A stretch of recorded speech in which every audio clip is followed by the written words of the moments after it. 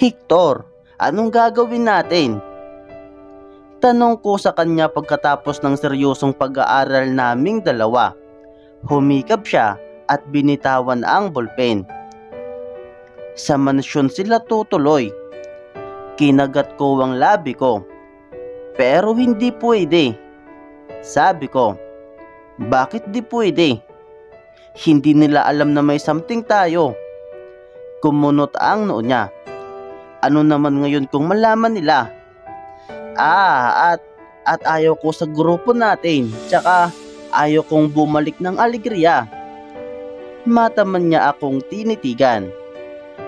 Bitter ka pa rin ba kay Clark? Napangiwi ako sa sinabi niya. Di ah. Hindi ko makumbinsi si Hector na kumbinsihin niya ang prof namin na magbago ng grupo o gumawa na lang ng ibang project. Kahit anong sabihin ko, palagi niyang sinisingit na bitter pa ako kay Clark kaya ayaw ko siyang makasama. Pansamantala kong binaliwala ang isyong iyon dahil sa gagawin ko bukas. Hindi ko sinabi kay Hector na may gagawin ako Ni hindi ko alam kung alam ba niyang may shoot ako ngayon. Napagod kami sa kaka-study kagabi, kaya hindi siya maagang pumunta sa apartment. Maaga naman akong tumulak para sa shoot. Kira Sambit ko pagkadating ko sa studio alas 8 ng umaga. O, Chiska, nandito ka na pala. Sabay biso sa akin. Pansin ko agad na marami ng tao may iilang models nang nagsisimula sa pagsushot. Napatingin ako sa mga babae at lalaking nasa tapat ng kamera at nisushoot ng iba't ibang photographers. Mukha ring may ibang malalaking tao doon. May mukhang dunya na binabantayan lahat ng ginagawa ng photographers at models. Sila yung sa brochure. Paliwanag ni Kera hindi sila nakahubad tulad ng sinabi niya sa akin.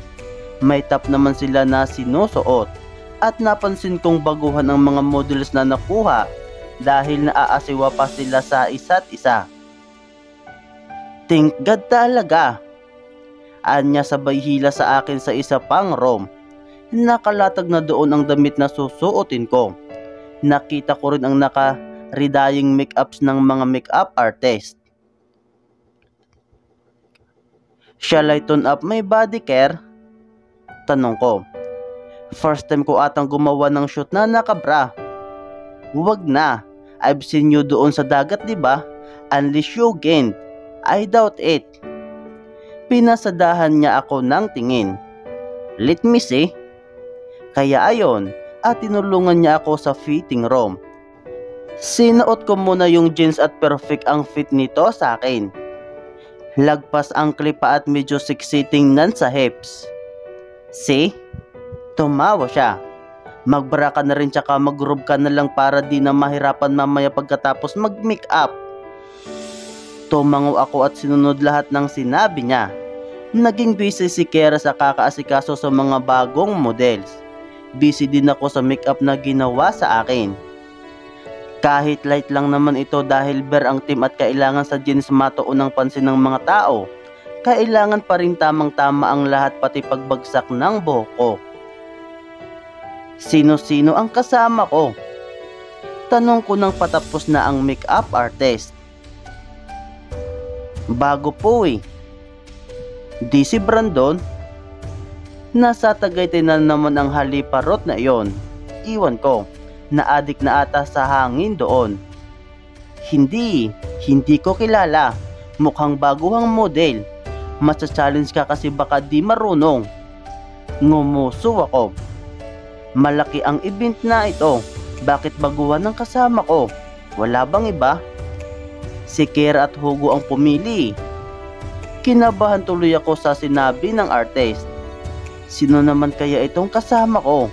Mukhang kaming dalawa lang yata base sa mga sinabi ng artist. Kaya naman, ay nang matapos na ako, hindi na ako nag-atubili pang lumabas sa room na iyon kahit nakarob lang.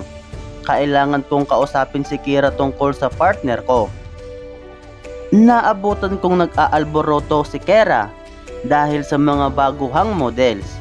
Humalukip-kip ako habang pinapanood silang ginagaspang ng bading kong kaibigan. Ano ba yan? Pumikit siya at nag-face palm. Ah, natural. Huwag kayong masyadong Steph. Hindi ito labanan kung sino ang may pinakamagandang ngiti. Diyos mio. Ganon din naman ako dati. Nakaka-conscious kasi ang mga photographers. Ang dami nilang dinidiktang post at lagi kang kinakabahan sa bawat pagsunod mo sa kanila. Si Clark ang nagtrain sa akin na mag-post na hindi makonsyos dahil palagi niya akong ginagawang eksperimento. Natuto ako kaya madali din akong naka-adjust sa industriya. Diyos kong mga batang ito! Reklamo ni Kera nang nag-wrap up na ang mga batang models. Magaling yung isang babae. Sabi ko sabay turo sa sobrang puti at mukhang magaling na model. Ah, nasa ibang ads yun eh. Yung dalawang babae lang yung kinaiinisan ko. Masyadong baguhan. Si Hugo kasi. Anya. Tumango ako at pinagmasdan ang models na nagche-change outfit. May shot pa mamaya. Ibang outfit naman sa brochure. Ikaw muna sa ngayon. Huwag mo na akong bigyan ng sakit ng ulo ah. Tumawa ako sa kanya. Imposibleng mabibigyan ko siya ng sakit ng ulo. Veterano na ako sa gawaing ito. Umiling ako at hinubad ang rab. Kitang kita ko na may isang sofa na nilagay doon para sa shot namin. Umupo agad ako at mabilis naman akong naging komportable sa mga photographers. Asan na ang kasama ko? Nag-evil smile si Kera at kinindatan ako. Bibi Hector! Pati linyang sigaw. Napaupo ako ng maayos at matigas sa sofa. Bumalandar sa akin ang katawan niyang sobrang ton. Mariin din ang titig niya habang palapit sa akin. Tumitili si Kera sa background at pumapalakpak. Nung una akala ko nabingi na ako sa sobrang tahimik, lalo na nung lumapit na siya sa akin. Pero nang pinasadahan ko ng tingin ng ibang models, ay kitang kita ko ang pagkamangha sa kanilang mga mukha. Of course, si Adonis ba naman ang pupunta dito ng naka-jeans lang? Tingnan natin kung sinong di malulustrid ang garter ng panty niyan. Baka nga mag-deserve na lang lahat ang underwear sa isang iglap. Napalunok ako at bahagyang umupo ng maayos. Nakaupo din ng maayos si Hector sa tabi ko. Kaming dalawa? Talaga, kaming dalawa ang gagawa nito? Okay, shall we start? Sabi ni Sir Omar na minphotographer dito. Napalunok ako at tumingin kay Kera na ngayon ay kausap iyong maladunya na babae. Magaling, ang ganda ng napili mong model at sobrang gwapo ng lalaki. But are the professional Kera? Tumaas ang kilay niya. Yes, madam. Professional si Chiska Alde. Don't you know her? And that's her boyfriend. Nilingon niya kami at namilog ang mga mata niya dahil wala pa kaming ginagawa. Komportable silang dalawa sa isa't isa kaya no problemo. Tumango ang dunya at ngumisi bago binuksan ang kanyang pamaypay at pinaypayan ang sarili. Kamunchis ka! Namimilog ang mata ni Kera kahit nakangisi siya. Do it! Bahagya akong lumapit kay Hector. Ngunit tuwing nakikita kong naasiwa siya at lumulunok sa sobrang kaba, ay kinakabahan din ako. Don't feel me. Oh, come on. Huwag niyong sabihin sa akin di pa kayo nagtatabi sa sofa.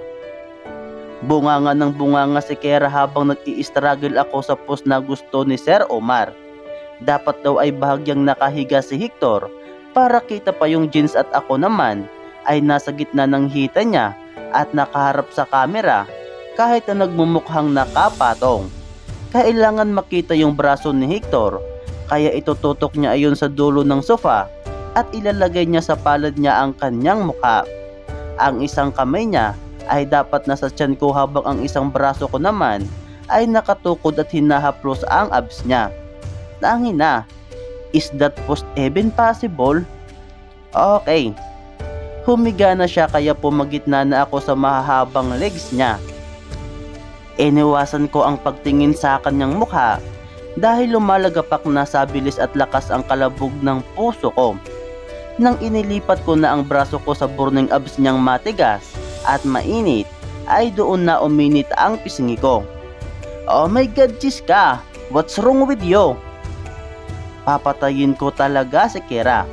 Bakit kailangan niya pang magreklamo ng ganun kalakas? Shut up, Ker! I'm doing my freaking beast here! Sigaw ko.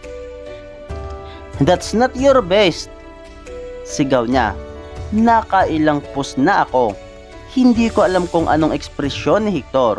Wala akong pakialam dahil ako mismo ay nahihirapan dito sa kinaoopuan ko. Ilang sandali ay bahagyang inibas ni Sir Omar ang posisyon at aksidente kong nahagip sa kamay ko ang baba ng kanyang zipper. Uminit ulit ang pisngi ko. So, sorry. Nilingon ko siya. Kitang kita ko ang mabigat niyang paghinga. Oh God, not here.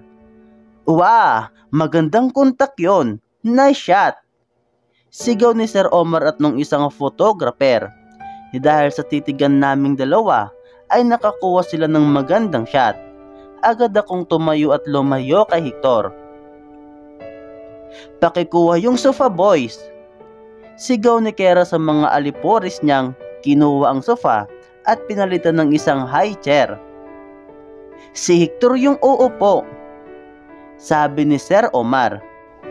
Tumango-tango si Kera sa sinabi ng photographers. Medyo nagtalo pa sila sa posisyon namin dahil ang iba ay gustong ako yung maupo. Kaya lang ay pumanig si Dunya kay Sir Omar at pinagbigyan siya. Si Chiska ay nasa gitna ulit ni Hector at seryoso kang titingin sa kamera. Tumango ako. Hahawakan mo ang magkabilang binti ni Hector habang siya ipipikit at paambang halikan ang clavicle mo. What? Clavicle? Laglag ang pangako habang nagdadalawang isip na lumapit kay Hector. I'm professional. Kahit sinong lalaki pa ang ipartner sa akin, hindi ako maaasiwa. Pero ngayong langyang si Hector. Oh my God! Madaramang sigaw ni Kera. Tika nga, hinila ako ni Kera sa gilid at umiling siya sa akin. I'm trying, Ker.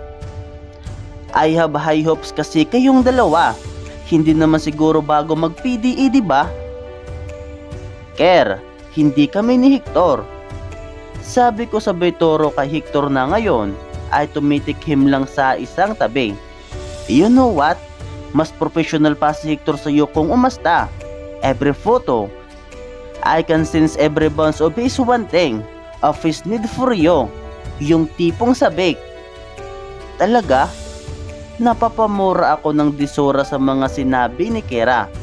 Nilingon ko si Hector na ngayon ay nag-iwas ng tingin. Yung heavy breathing every time you touch his freaking goddamn abs. Yung intense gaze sa katawan mo, sa boobs mo, kitang kita. Pero sa'yo, para kang robot. Naistatuwa ako sa mga sinabi ni Kira hindi ko maintindihan kung bakit para akong sasabog sa lahat ng sinabi niya. Wait, Brinda! Sigaw niya sa model na tinutukoy ko kaninang maganda at professional. Patalong humakbang si Brinda patungo sa amin. Will you do that post please? Yung post na sinabi ni Sir Omar with Hector. Nalaglag ang pangako sa hinihingi ni Kera sa babaeng yon. Ay, ano ba yan? Nakakahiya. Malambing na sinabi ni Brenda sabay tingin kay Hector. Napatingin si Hector sa akin. Tinaas ko ang kilay ko. Tika Kira, di ba sabi mo sa akin si Chiska lang ang kasama ko? Ngumisi at tumango-tango si Kira. Oo Hector, pag hindi na masyadong Maria Clara ang girlfriend mo, ibabalik ko siya. I'm not his girl. Showbiz. Agad akong pinutol ni Kera at pinagmasdan niya ang paghawak ni Brenda sa mga hita ni Hector. Good job Brenda. Now closer. Sus, Diyos mio. Diniin ni Brenda ang sarili niya kay Hector. Bahagyang gumalaw ang high chair sa sobrang pagkadiin. Kitang-kita ko na ang puwitan niyang nasa gitna ng hita ni Hector. Oh! Bumuga ako ng hininga at bahagyang umiling. Na Victor Place! Umiling si Hector ngunit hinila ni Brenda ang baba niya patungo sa kanyang leeg. Bahagya pa siyang lumiyad para mas lalong maamoy ni Hector ang leeg niya. Nagulat si Hector sa ginawa niya. Kitang kita ko ang pag-awang ng bibig niya habang nasa baba niya pa rin ang mga daliri ni Brenda. Good job!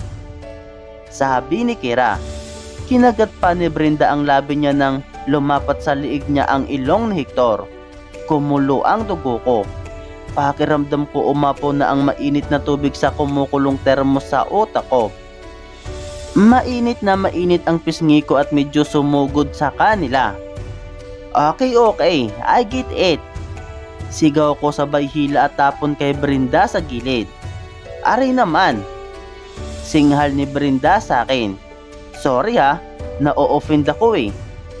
Now let me do it, Kira. Singhal ko rin.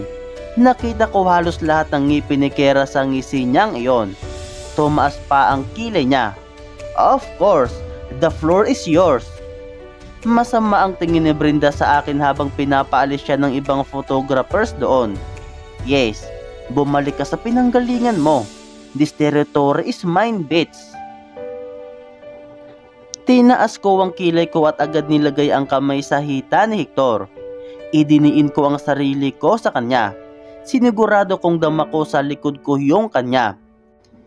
You are mine. Just mine. Get that? Kinagat ko ang sarili ko nang unti-unti niyang nilapit ang kanyang bibig sa tainga ko. Nakahaplos naman ang isang kamay niya sa may baywang ko. Silos ka ba? Bulong niya. Tumindig ang balahibo ko sa tanong niya. Sobra. Kinagat ko ang labi ko. Hindi ko na maintindihan ang naguhurumintado at nag-aalboroto kong puso. Narinig ko ang bahagyang pagngisi niya sa tainga ko. Binaba niya ang mukha niya sa liig ko. Bahagya kong tinagilid ang ulo ko habang nakatingin sa kamera. I'm so turned on. Pahabulong niyang sinabi.